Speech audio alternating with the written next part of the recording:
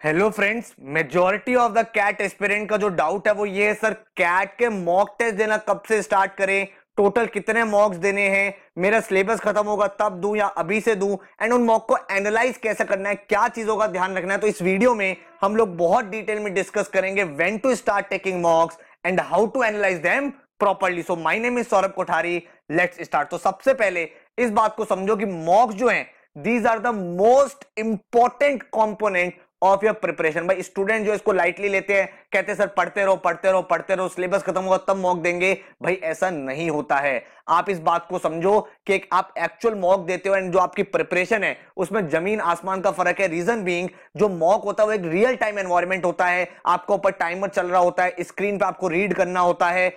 उस टाइम को यूटिलाइज करके अपने क्वेश्चन को अटेम्प्ट करना होता है। तो एकदम एक्चुअल वाला जो प्रिपरेशन होता है, वो यहीं से निकल के आता है। तो इसीलिए सबसे इंपॉर्टेंट चीज़ तो ये याद रखो कि अपने कैट से पहले आपको 25 से 30 मार्क्स तो देने ही देने हैं। एंड इसके बाद जितने भी आप अदर एग्ज़ाम्स टारगेट कर रहे हो, चाहे I F T SNAP NMAT her exam के टेन मार्क्स आपको देने हैं, तभी जाके आपकी प्रिपरेशन फाइनलाइज होगी।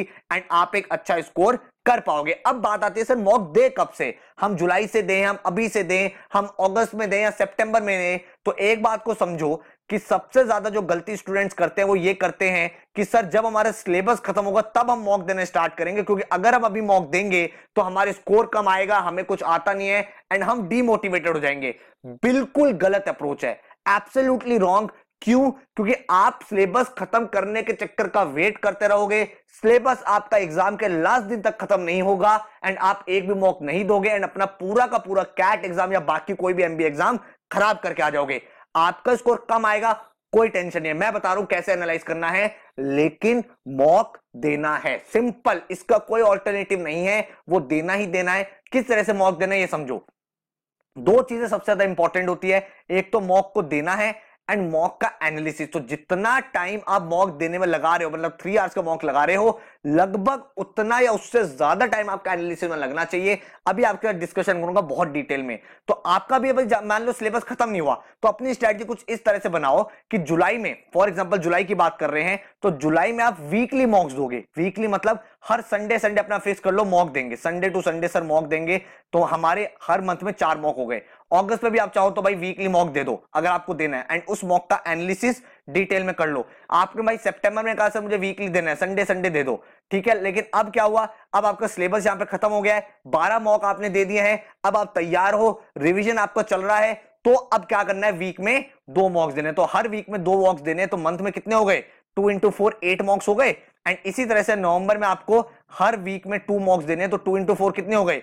एट मॉक्स हो गए। तो टोटल आपने अप्रोक्सीमेट अगर आप देखोगे ट्वेंटी एट मॉक्स के आसपास दे दिए हैं। इसको आप 25 से 30 की रेंज के बीच में टारगेट लेके चलो। इतने मॉक अगर आपने दे दिए तो आप ये समझो कि हर मॉक देने के साथ साथ आपकी परसेंटाइल भाई अप्रोक्सीमेट वन से टू परसेंटाइल इंक्रीज हो जाएगी। इतना बेनिफिट यहाँ पे मॉक से मिलने वाला है। तो 25 टू 30 मॉक्स अगर आपने दे दिए तो अगर आप करंटली एक ऐसे पोजीशन पे हो जहाँ आपकी 60 परसेंटाइल आनी है तो सिर्फ़ मॉक और मॉक के एनालिसिस पे आप 30 परसेंटाइल इंक्रीज कर लो 90 के आसपास बन जाएगी। अगर आप भाई 65 70 पे हो तो 98 99 पे पहुँच जाओगे। तो मॉक का इतना ज़्यादा बेनिफिट रहता है। अब बात आती है सर मॉक में टारगेट क्या करना है? तो टारगेट करना है जो कैट 2018 का एक्चुअल स्कोर था। हमारा जो पेपर होता है वो 300 मार्क्स का होता है। कैट का 154 जो है आपका 90 99 परसेंटाइल ला देगा। मतलब 99 परसेंटाइल लाने के लिए आपको 154 मार्क्स चाहिए थे कैट 2018 में। ठीक है? अब ऐसा नहीं होता कि आपने मॉक देना स्टार्ट किया, आपका 150 प्लस आने लगा। नहीं this is not the case हो सकता है आपके पहले मॉक में सिर्फ़ 60 नंबर आए। तो 60 नंबर आया, आप सोचोगे नेक्स्ट में मुझे 150 लेके आना है। पता चला नेक्स्ट में आ रहे हैं 65 नंबर या 70 नंबर और और डीमोटिवेट हो गए। तो इस तरह से कभी भी अपनी प्लानिंग नहीं करनी चाहिए। करनी कैसे ये समझो। अब देखो यहाँ पे एनालिसिस एनालिसिस कैसे करना उसकी बात आपके साथ डिस्कशन कर रहा हूँ। मान लो मैंने कैट मॉक वन दिया, ठीक है? कैट मॉक मैंने वन दिया, उसमें मेरा स्कोर आया फॉर एग्ज़ाम्पल सिक्सटी या मेरा स्कोर आया फिफ्टी कुछ भी स्कोर आया, कोई टेंशन वाली बात नहीं है। जो भी आपका स्कोर आया, उसके बाद आप इसका करोगे एनालिसिस एनालिसिस में क्या क्या चीज़ों को आप ध्यान रखोगे? एनालिसिस में आपको दो चीज़ें समझनी है। एक तो आपने जो क्वेश्चन अटेम्प्ट करें और एक आपने जो क्वेश्चन अटेम्प्ट ही नहीं करें। बात समझ रहे हो? तो जो आपने अटेम्प्ट नहीं करे, वो तो ये सोच कर अटेम्प्ट नहीं करे कि आपको वो क्वेश्चंस नहीं आते। जो क्वेश्चन आपने अटेम्प्ट करे, वो इस एजम्पन के साथ करे कि वो आपके करेक्ट होंगे। लेकिन ऐसा नहीं होता कि सारे के सारे क्वेश्चन करेक्ट हो जाए। तो यहाँ पे दो चीज़ निकल के आती है करेक्ट और इनकरेक्ट ठीक है? अब यहाँ पे जो आपका कैट एग्ज़ाम है, वो दो चीज़ों पे चलता है। एक चलता है आपके नंबर ऑफ़ अटेम्प्ट कितने आउट ऑफ़ हंड्रेड एंड दूसरा चलता है आपकी एक्यूरेसी कितनी है। आपके सामने हंड्रेड क्वेश्चन है हंड्रेड में से आप हंड्रेड अटेम्प्ट कर दो एंड लेके आपकी एक्यूरेसी है ही नहीं तो भी आपके मार्क्स नहीं आएँगे। मान लो आपकी एक्यूरेसी हंड्रेड परसेंट है, आप हर क्वेश्चन करते हो, बिल्कुल सही करते हो, लेकिन एग्ज़ाम में कर पाए सिर्फ़ बारह क्वेश्चन तो भी कोई फ़ायदा नहीं है। आपको दोनों के बीच में क्या रखना है? एक बैलेंस बना के रखना वो बैलेंस आएगा कैसे, समझो। हमने स्टार्टिंग में मॉक दिए तो हमारा भी सिलेबस खत्म नहीं है। तो जो नॉट अटेम्प्टेड वाले क्वेश्चन है, जब आप उसका एनालिसिस करने लगे तो आपको पता चला कि ये टॉपिक हमने पढ़ा ही नहीं है। तो पढ़ा ही नहीं है तो इसमें आपकी गलती तो है नहीं। तो ये अभी अटेम्प्ट आप इसको छोड़ दो, इसको टेंशन मत लो बिल्कुल भी, ठीक है? अब आपको जो फोकस करना वो करना जो आपके अटेम्प्टेड क्वेश्चन थे, उसमें जो करेक्ट थे, वो तो बहुत बढ़िया। जो इनकरेक्ट है, वहाँ पे हमें देखना है कि हमारा इनकरेक्ट हुआ क्यों है? क्योंकि हमने तो ये सोच के क्वेश्चन करा था कि हमारा सही होगा। बात समझ रहे हो? तो अब आप यहाँ पे देखोगे आपके सॉल्यूशन में क्या गलती हुई, जो टॉपिक आपने अटेम्प्ट करा, क्या उसमें कुछ ट्रिक थी क्वेश्चन में, या फिर आपने क्वेश्चन सही से रीड नहीं करा, या आपकी अप्रोच गलत थी, या फिर आपने बहुत ज़्यादा टाइम लिया उसको सॉल्व करने में एंड में आंसर नहीं आया तो इस तरह से आप एनालिसिस करोगे। तो हर मौका इसी तरह से एनालिसिस करना, और ये क्वेश्चन आप वापस सॉल्व कर लोगे। आपका टॉपिक जो गलत हुआ था क्वेश्चन वो एक तरह से ब्रशअप भी हो गया एंड आपने पूरे मौका एनालिसिस भी कर लिया। नॉट अटेम्प्टेड वाले जो क्वेश्चन है, जो आपको आते ही नहीं थे मतलब जो टॉपिक आपने नहीं पढ़ा, उनको आप देख लो एक बार क्या क्या टाइप के क्वेश्चन थे, ताकि जब आप एक्चुअल टॉपिक पढ़ो तो आपके माइंड में रहे। अभी आपको बेसिक नहीं आता होगा तो आप मत सॉल्व करो। फिर आपने कैट मॉक टू दिया। अब कैट मॉक टू जब आपने दिया, तब आपने एक दो टॉपिक और पढ़ लिए होंगे। एक दो टॉपिक और पढ़ लिए होंगे तो आपके जो अटेम्प्ट है, वो इंक्रीज हो गए होंगे। ठीक है? और नॉट अटेम्प्टेड वाले कंपैरेटिवली कम हो गए होंगे। यहाँ पे भी आपको सेम फंडा कराना है करेक्ट और इनकरेक्ट तो स्टार्टिंग के जो आप 12 टू 13 मार्क्स दोगे, उसमें आपको जो काम करना है, अपनी एक्यूरेसी पे काम करना है कि आपके जो नंबर ऑफ़ रॉन्ग क्वेश्चन है, वो बिल्कुल कम हो जाए।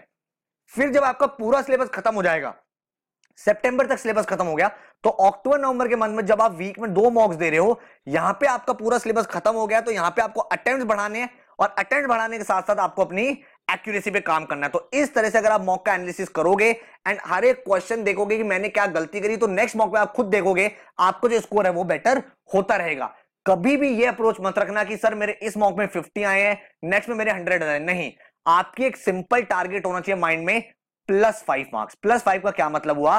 कि सर, हर मॉक में मैं अपना स्कोर पाँच नंबर से बढ़ाना चाहता हूँ। तो अगर आपके अभी 50 आए हैं तो नेक्स्ट में टारगेट होना चाहिए 55 उसके नेक्स्ट में 60 अब आप सोचो, अगर आपने ऐसे 20 25 मॉक्स दे दिए तो अगर आप अभी 50 पे हो एंड हर मॉक में आप सिर्फ़ पाँच नंबर ज़्यादा ला रहे हो, पाँच नंबर मतलब हर मॉक में आप लगभग सिर्फ़ दो क्वेश्चन और सही कर दो तो इसका मतलब यह हो गया कि 25 mocks into five that mean 125 marks का इंक्रीमेंट प्लस जो आपके बेस में 50 नंबर आए थे तो फाइनल स्कोर कितना हो गया?